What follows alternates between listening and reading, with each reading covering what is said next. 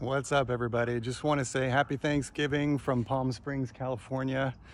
It's beautiful out here, and I'm just sending you some love and positive energy. I just want to ask you one question. Put in the comment below, what are you grateful for? You might think that this is a silly tradition, or I don't know. You might be wary of just being overly optimistic, but I challenge you how many days out of the year do we collectively just focus on gratitude and what we're focused on?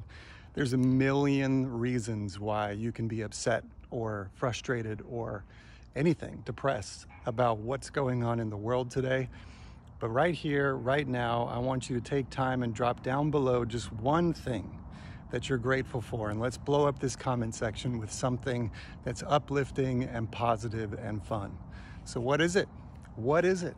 I tell you what I'm grateful for friends, relationships, health, peace of mind, inner serenity, all of those things get me through this crazy time that we're living in.